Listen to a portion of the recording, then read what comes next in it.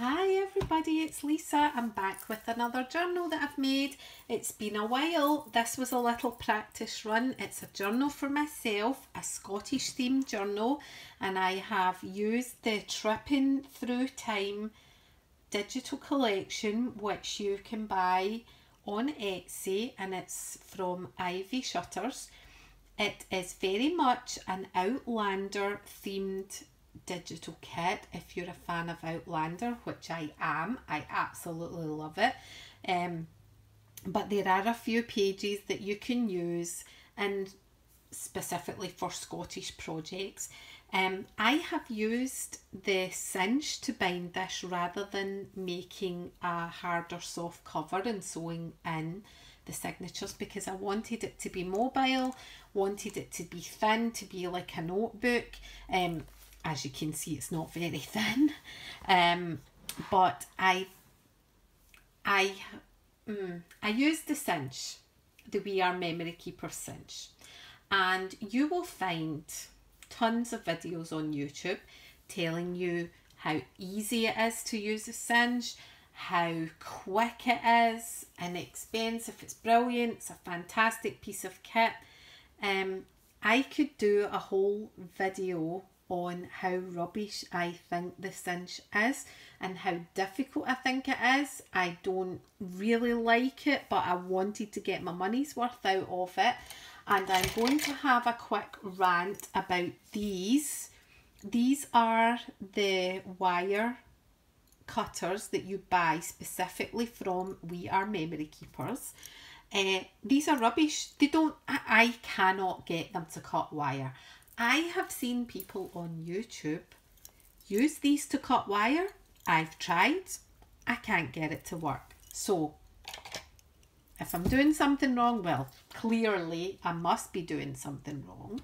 Um, I use an old pair of scissors to cut the wire, which is scissors that I use specifically for cutting um, adhesive tape because you would blunt your good scissors if you used it for that kind of thing. So I've got an old pair of scissors and I use that to cut the wire and then I just use the um, wire cutters to bend it and make it a little better. You will hear my dogs barking, somebody must be walking past. Um, but for this I have put, um, this is Gaelic and it means Scotland forever as you know, I'm very proud to be Scottish, so I wanted to put that in here. It means a lot to me, but the Scotland Forever also has another significance. When me and my husband got married, his kilt that he chose to wear rather than a clan tartan, he chose to wear the Scotland Forever tartan, which is this tartan. So it has a lot of significance. But anyway, um, I thought that was a nice touch and I used the Ivy Shutters page, beautiful thistle. It was very well distressed anyway, but I've gone round it again. I've used my sewing machine for the first time to sew it onto the card and make a border. And this is washi tape down here, just which is glued on just to strengthen uh, the book board on the back it's just plain. This was an old book that I used specifically for pressing flowers. Um, here I've kept it simple, wanted to be able to use it to chuck it in my bag when we go camping or go trips or when I go to Edinburgh on the train for the day. I go to Edinburgh quite a lot for meetings at work so I wanted to be able to take it with me. But what I've done is I have made, I suppose you would call it a cluster of fabrics, lace, ribbon, and I've topped it off with a little Celtic brooch and I know it's Celtic because it has the little Celtic knots. Got this in a charity shop. It would have been an old lady's treasure brooch, would have eventually ended up in a charity shop but I'm just really glad I was able to make use of it and here I have just layered pieces of Scottish lace, um, tartan ribbon, lilac ribbon, some cheesecloth, some gauze and at the back I have added in some Harris tweed. Harris tweed is very famous throughout the world and it's very popular. Um, it is hand woven still to this day, hand woven on some of the Scottish Islands, and it's called Harris Tweed. And there, I got this gifted to me by a lady called Alice from Glasgow, and she makes beautiful Harris Tweed products. Um, and I had purchased some from her. So I asked her if she had any scraps, could I buy them from her? And she said, Don't be daft, they're not any use to me. I'll just gather them up and send you them. So I've used quite a lot of them and I think they look beautiful in this little cluster. So I'm really chuffed with that. And here, this is just tartan scrapbook paper, but it's backed with a Christmas themed paper. So it's a Christmas design but I thought it looked nice inside the book and here I've just made a little library pocket, made a little cluster and I've used a vintage button gifted by my friend Gail and here is the thistle again and you will all recognise this. Were you all singing that on Hogmanay? When the bells went at midnight, were you singing this song? So I thought that would be really nice to put in here. And here, I'm really chuffed with this. I always like to do this little corner pocket, but um, I just loved how it's layered. I layered it with some really thick crocheted lace, which was gifted by my friend, and tartan ribbon, uh, thinner lace, cheesecloth, eyelash trim and a little Stampin' Up embellishment and I love how that's turned out. I took inspiration from Moira McDonald. She's a lovely Scottish lady who makes journals and cards and um, she's given me some advice about layering up tags. So this one's topped off with a little metal butterfly so I really like that. And on this page, Mrs. Always Right, my one of my boys actually gave me a mug that said Mrs. Always Right. And I can't argue. I just can't argue. Anybody that knows me would probably say that about me, especially my husband. So I've cut out a bit of the box and made it into a pocket and I've put a little tag which I have stenciled and coloured in with Copic markers.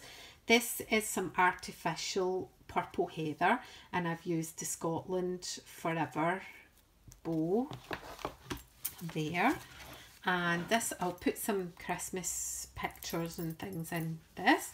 And this is a little flip. I've not finished it that's why it's clipped there. Um, but I'll do that as I go along. This is a little beautiful Christmas card from my friend Gail. Um, Gail, I'm sorry I didn't send you a Christmas card. I'm so sorry, but you know that your card is treasured. So um, I need to do better next year. And I've made it into a little pocket and this was a little tag that Gail sent me when she sent me a beautiful box of goodies. And here I have a little thistle stamp this is the area I live and this is called the Clyde Coast.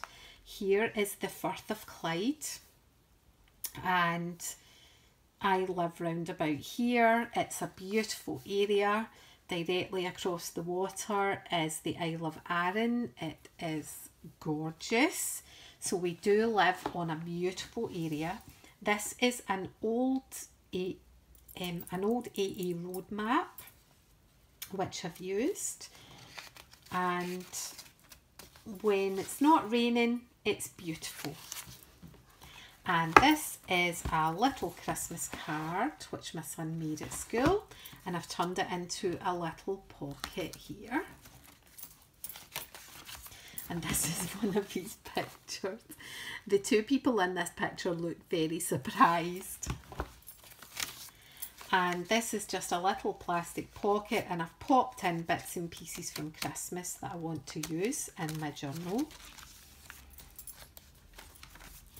And here is another one of those pockets. I really love that. I think I might just continue doing that in my journals, that kind of style. And this forever tag and it's just some lace and a doily. I really like that. And this is a little paper clip with a thistle charm. And I've just stenciled this envelope, used some stickles and I've put some Harris Tweed along here, sewn it on and attached a little thistle charm. And on the back side I've decoupaged a little butterfly so I really like that and I've just put some tags in. I do have, I made a little tag out of this, this is a little clover which I picked at some grass in Edinburgh. It was just filled with clover and I picked one of them and I pressed it into my book and I backed it with some tea dyed paper. And this is a Christmas card from our First Minister, Nicola Sturgeon. She is a wonderful lady. And this is Winnie Ewing, who's on the card with her. And not handwritten I must say. Mass produced probably. And uh, there's some Gaelic there as well. And a little bit about Winnie Ewing. They're celebrating her the 50th anniversary of her historic win in Scotland and years ago when the Scottish Parliament was built and oh well not when it was built it was before it was built they they um met in a, a different building. Uh, but part of the opening ceremony Winnie was involved in, and her words were the Scottish Parliament, which adjourned on March 25th, 1707, is hereby reconvened. And that was just wonderful because we had fought to get our own Parliament in Scotland. Since then, the Parliament building has uh, finished and if you're ever in Edinburgh I would really recommend you go on a tour um, and go on the actual tour with the guide um, and they tell you all about the architecture um, and it is really good and um, makes you feel very proud so that is that And this is a piece of tartan scrapbook paper which was Christmas themed on the back. And this is some Scottish heather, purple heather, which has been pressed into a book and decoupaged on. And I'm always picking up old things, old postcards, old photographs. This is St Mary's Church on Iona. And it's really old. This is nearby this is the Firth of Clyde from the Haylie Brae in Largs. That's close to where I live. And this picture actually doesn't do the view justice because it is far more spectacular than what is portrayed in this picture. And we even have some palm trees in Largs. Yes. This is a Christmas card which was sent to me by my friend Hamish and his wife. That's a good Scottish name for you. So I, I really liked it, so I've put it in. This is Culzean Castle in Ayrshire and we do visit Culzean quite a lot. It's owned by the National Trust and it is absolutely beautiful. It really is as beautiful as this. And when you go up to the back wall here, you and look over to the water, you will see the most beautiful views of the Isle of Arran.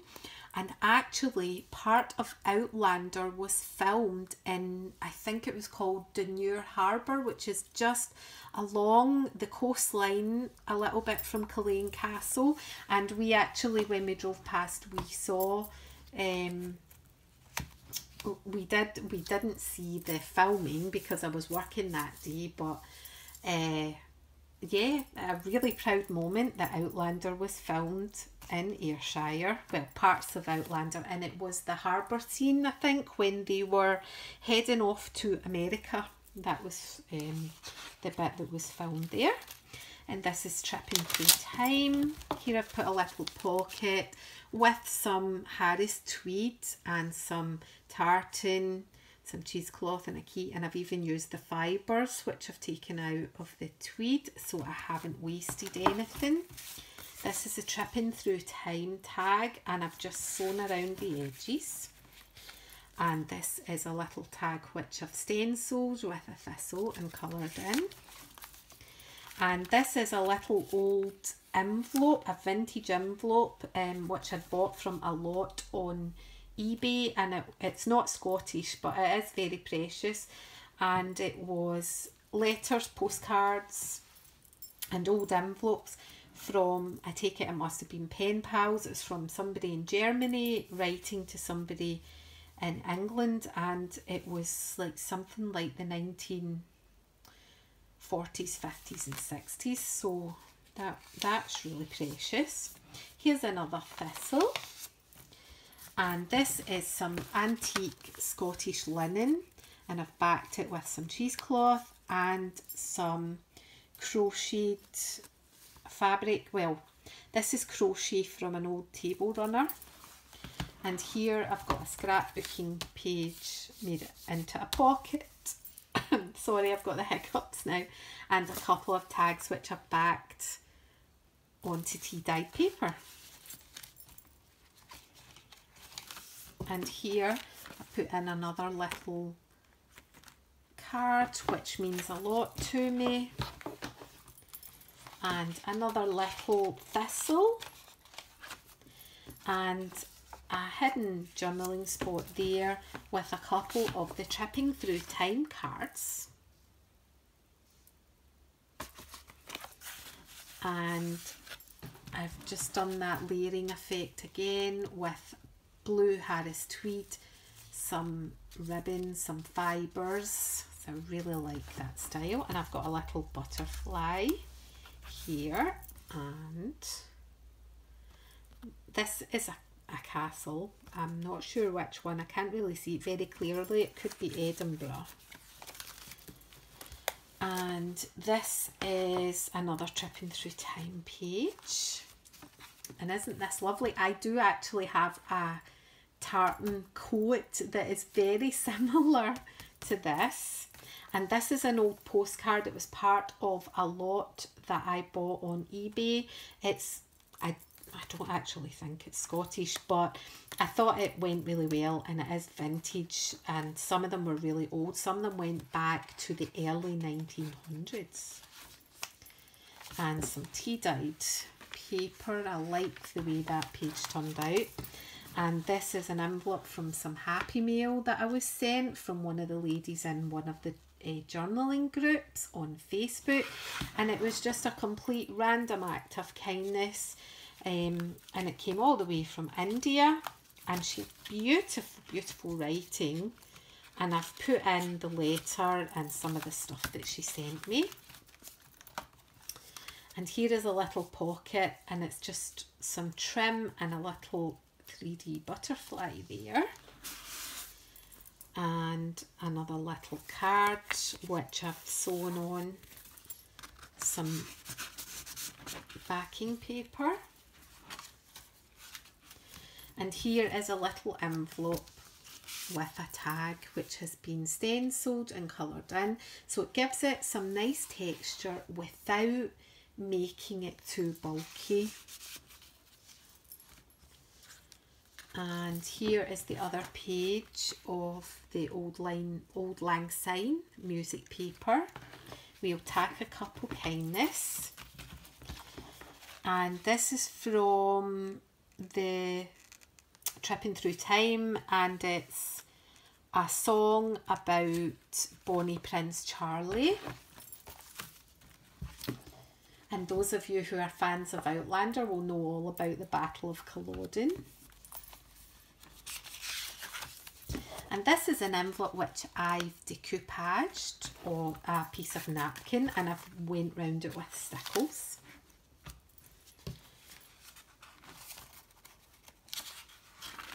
And just some tea dye paper. And here is a unicorn page and the unicorn is actually Scotland's national animal. How cool is that?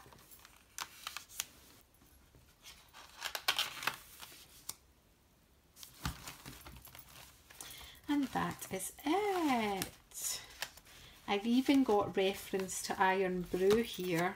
I think I must have missed that page. Irn-Bru is Scotland's other national drink, just in case I've missed it. There's a little page in here. Um, and it's a quote from Billy Connolly, and on the other side is a quote from Ian Rankin, the Scottish crime writer. So there you go. I hope you like it. I absolutely love it. It is a little bit too chunky for me to take out and about, but I'll just remove some of the chunky tags. When you hold it like that, you can see exactly where it's bulky. You know, this key is one of them. So anyway, I hope you like it. I really enjoyed making it. I didn't enjoy using the cinch, um, but it was nice to actually create like a real junk journal. The ones I make for other people are much neater than this. So this is just filled with things that are precious to me. So I'm going to really enjoy putting some photographs in and some memories in. I've already been gathering up a lot of stuff here. So I hope you enjoyed it and I'll say cheerio until the next time.